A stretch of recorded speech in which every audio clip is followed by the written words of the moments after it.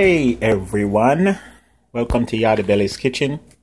And this morning, uh, today, we'll be doing a quick um, stir fry. What do you call this? Stir fry?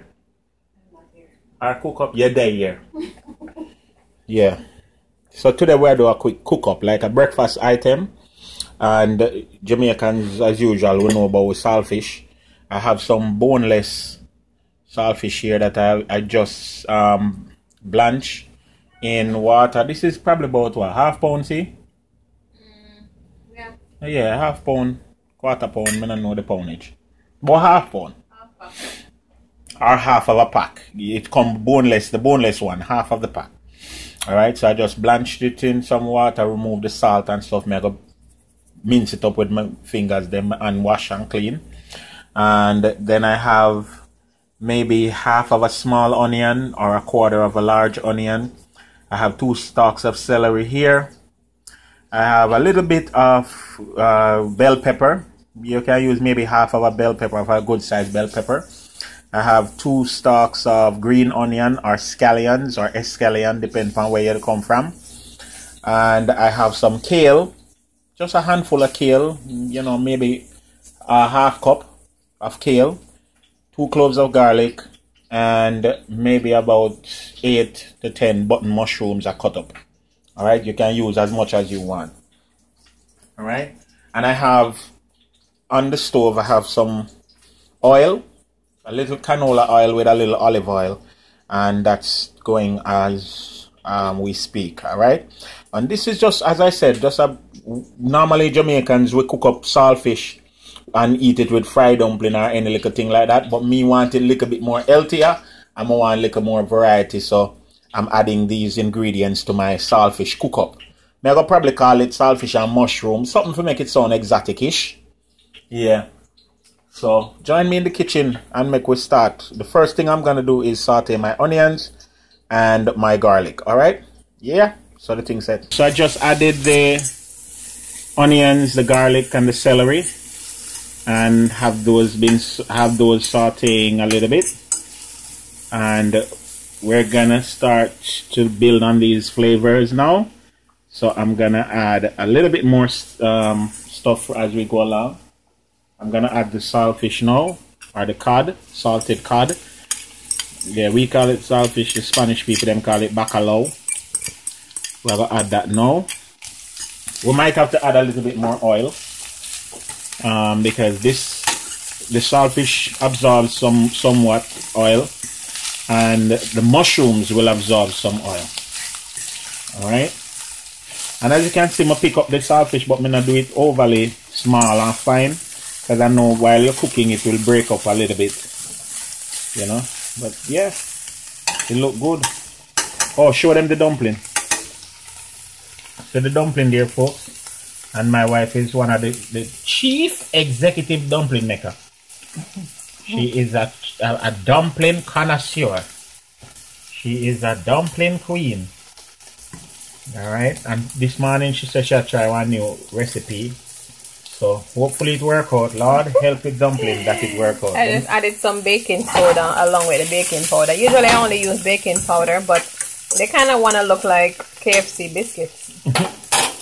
I don't know if I'm feeling the puffiness, but hey. Alright, next I'm adding my mushrooms and my kale. Now my mushrooms are a little bit brown because I leave them in the fridge. Um, one extra week. But so isn't them, that how the interior of the insides, yeah, Yeah. but them still a little bit brownish. oh you know, extra brown. All right, and I'm just sauteing these. Yeah, no me me need little oil, more oil. Now add some coconut oil. I really like the flavor of the coconut oil. Uh, you know the song says it was under the coconut tree. and I'm trying to inveigle him to put tomato, but him, him insists not. Yeah, me don't really want to put the tomato, but I might put it if if she force me. Force me. Yes, yes. Put the tomato. That's not forcing. That's not forcing. Yeah. Oh, it looks so pretty on cam. Yeah, it look nice, man. It really look good.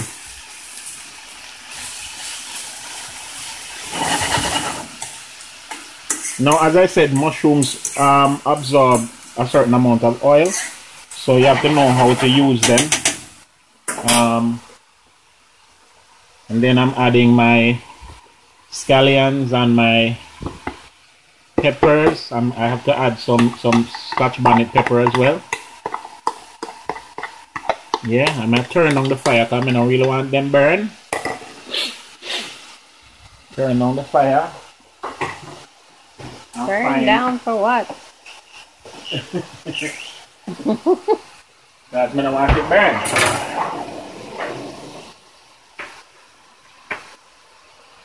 Scotch bonnet. And the wife not too like the Scotch bonnet, but me like it. I don't even think those are the real hot ones.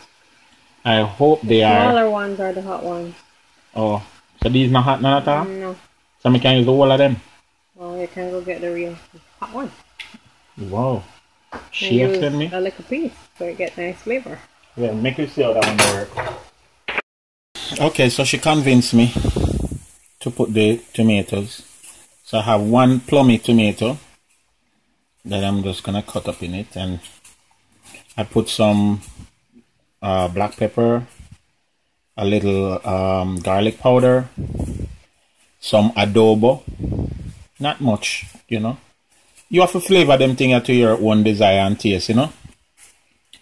And I'm telling you, folks, it tastes good. Me try a little bit. Normally, I don't cook and taste things, but yeah, a light. It's very intelligent. You understand? It's acrimonious, according to Tanto Blacks. and and this, as I said, it, it better than for just eat the, the, the straight saltfish because nutritionally the saltfish not really do nothing for you. You understand? So when you add some stuff to it and, and as you, it, right now me ready for lock it off, you know, me I tip like water because me like my gravy, especially when you eat dumpling. What about ketchup? No. Not putting no ketchup in my something. She love a ketchup, you see? Burn me for her. Make me get ignorant for her. ketchup. me no need for ketchup, nothing. Nothing turned up and it are very, very turned. So I'm just gonna add Anyway, over to the main event. Really? Really? if me never want the dumpling with a cuss, you see. I just add a little water for as I said, build a little gravy base. Yeah, and I have some coconut spread. Wow, looking good, looking good. Which we use instead of butter. This here, look, the simple natural coconut spread we use this instead of um, butter. I'm gonna put a little bit in it. All right. Where can they find that? And I get I get mine at Aldi. I don't know if you have Aldi in your neck, neck of the woods.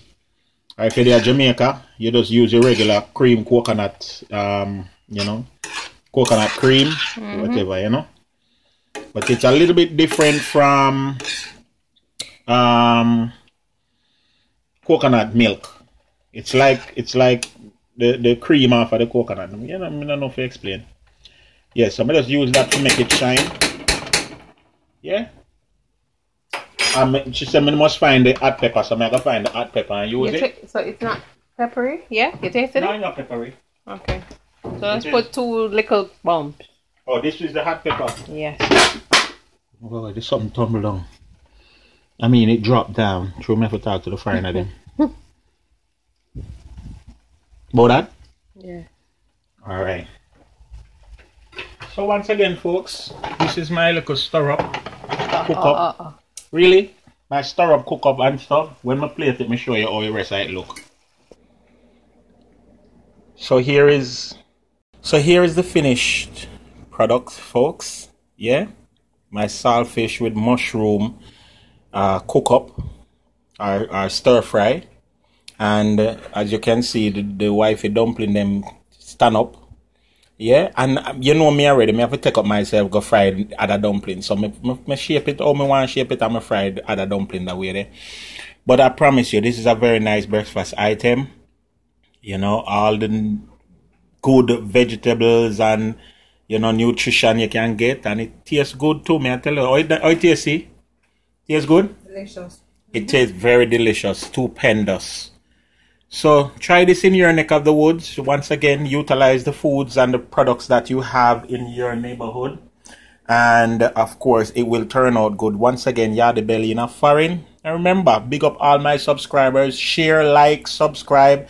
Remember to check me out on youtube on facebook on instagram. I'm a jamaican comedian rev saint hope. And remember my food truck dream. Yeah gofundme.com slash Yardie Belly hey once again saltfish and mushroom cook up See you when I see you. Squawk!